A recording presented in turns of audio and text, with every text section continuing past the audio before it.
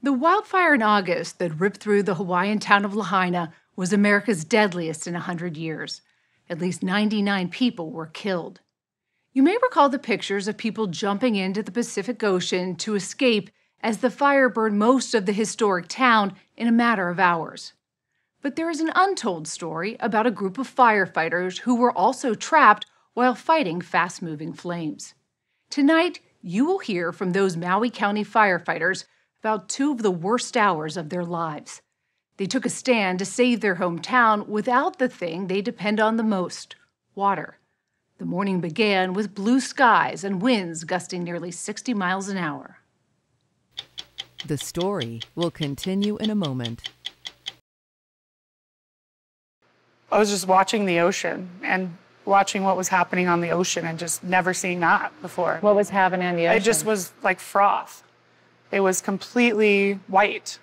And there was like whirlwind that was sat out there for over an hour. Like that had been whipped Yeah, up? yeah. The winds were just nuts. Firefighter Ina Kohler drives Engine 3. She grew up in Lahaina, the once postcard perfect town of 13,000 tucked between the West Maui Range and sparkling Pacific. In Hawaiian, Lahaina means cruel sun. But on August 8th, it was the wind, whipped up by a hurricane 500 miles offshore, that showed no mercy.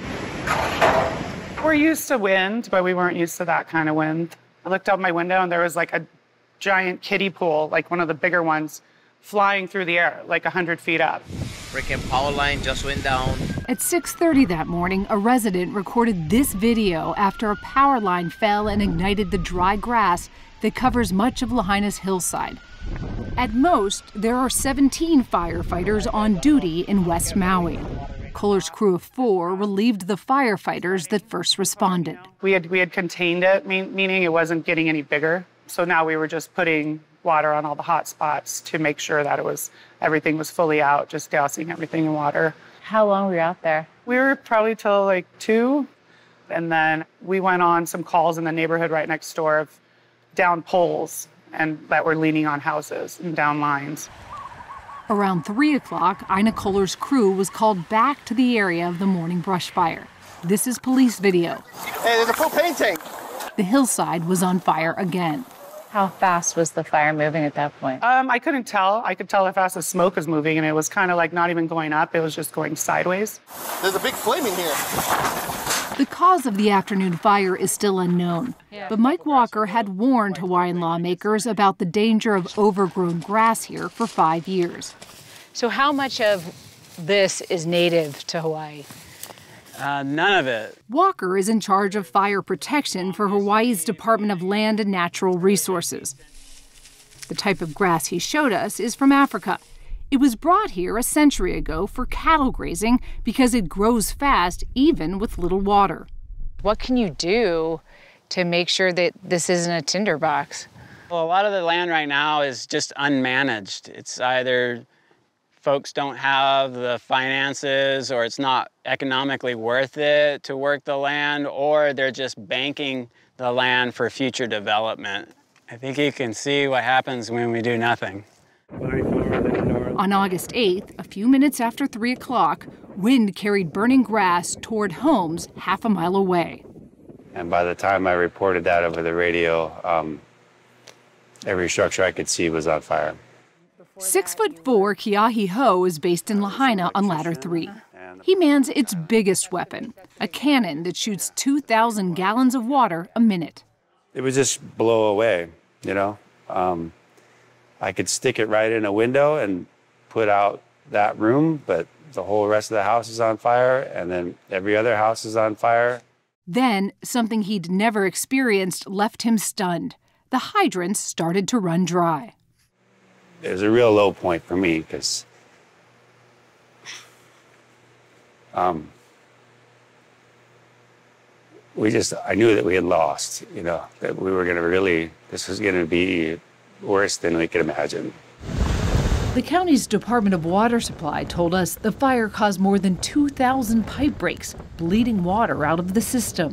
It was somewhere around there that I heard that the, um, my mom's office is, which is a long ways away from where I was, it was on fire. And then to know that it was there and to know that I was running out of water, I was like, man, it's over. Like, we're going to keep trying, but there's, it's over. This was the view from inside a fire truck.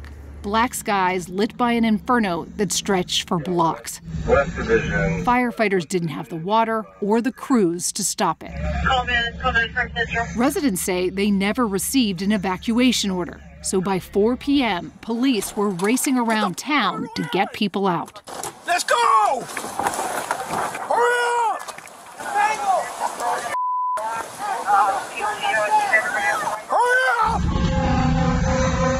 At the same time, reinforcements started to arrive from other fire stations across Maui, including 26 year old Tanner Mosier.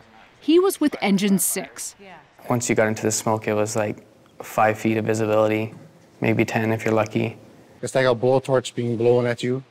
The heat was just so intense. Captain Jay Fujita has been a firefighter almost as long as Tanner Mosier's been alive.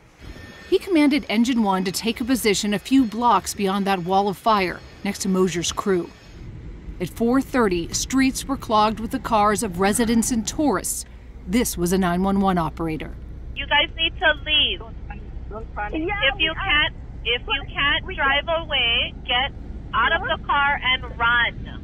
The abandoned cars and a web of downed power lines trapped the eight firefighters and their two engines. Once we determined we were able to escape the um, street that we were on, uh, we pulled a line to kind of protect ourselves from the fire. Just from to keep the fire away from you. Yeah, but the hose burnt. So you don't have a hose Yeah, and you can't get out. yeah. Our only course of action was to shelter in place. Inside the engines, they relied on air tanks to breathe. And we we're just conserving our air as much as possible and just sitting in our seats. We were just fixating on making it out, lasting. So at that point, it's surviving. It's surviving for sure. I mean, we could see metal melting in front of our eyes. I had texted my wife. Uh, I told her I love her and to pass the message on to the rest of my family that I love them, that we're stuck and we might not be able to make it out.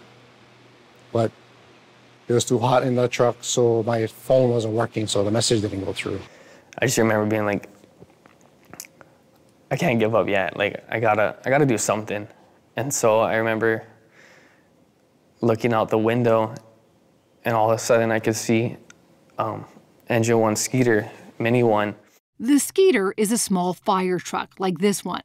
Mosier jumped into it alone to see if he could clear a path for the engines to get out. Mosier says when he realized the Skeeter couldn't drive through the barricade of cars, he made the snap decision to drive over them to find help. And so I just remember putting a four-wheel drive, and I launched the barricade, and I kind of planed for a second, and I was like, oh, okay, I made it over. And at the end of the lot was a rock wall. So I launched over the rock wall and definitely caught some power lines. So I'll just be driving through the smoke, not seeing anything. So I'm just like driving through, dodging stuff. His truck was damaged, but down the road he saw the lights of a police car. I just remember leaving most of my stuff in that truck, getting out, running to the cop, and just telling him, like, hey, I got guys in there.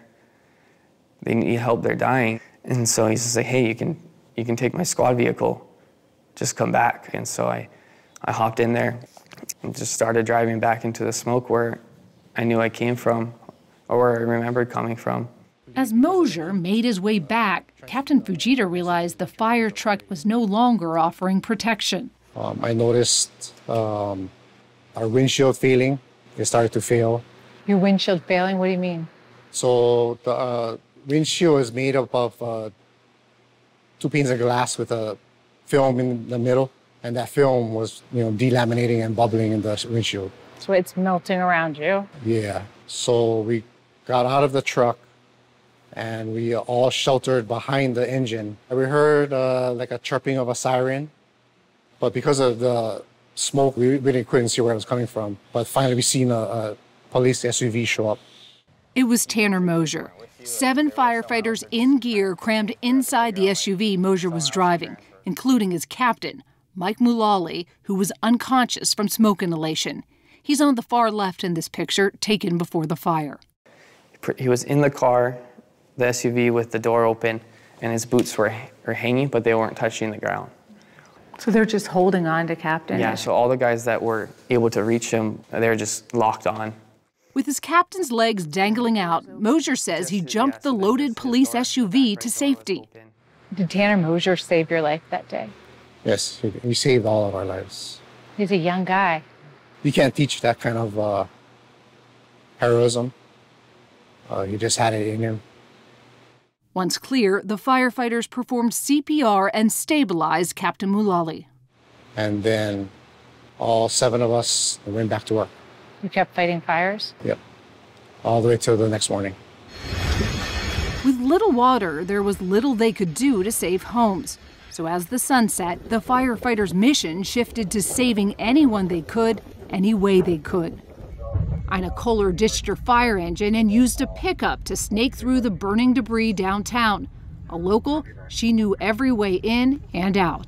There were some people in their cars stuck down there not knowing which way to get out. And so I would jump in their car and I would drive their car out for them. So everybody's trying to get out and you're going in? Yeah. Kohler, a mother of two, said her family was able to escape. But like 16 other firefighters in Lahaina, she lost her home.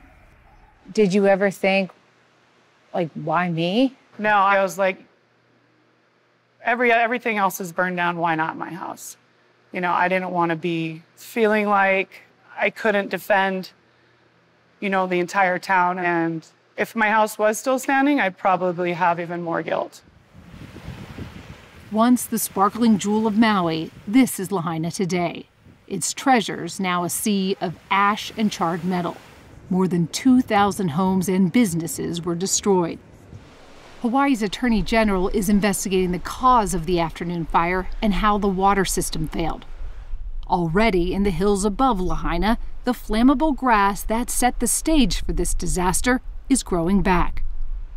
Captain Jay Fujita took us to the street where his crew made its stand. Your engine was right there? Yeah, right there. Those ashes in front of us are the outline of where fire consumed what was once Engine 1. It's kind of like, like a grave, you know, coming back to see this. After we left, it still was hot enough and bad enough to burn the engine. To nothing? Yeah.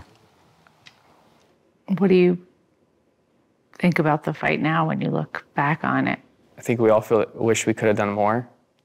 We made it out and we're grateful, but at the same time, there there's still people that didn't make it out. Not far from where the Lahaina fire began is a line of crosses, one for each person who died. The 100th victim was identified last week, but by our count, Maui firefighters rescued at least 200 people from the flames.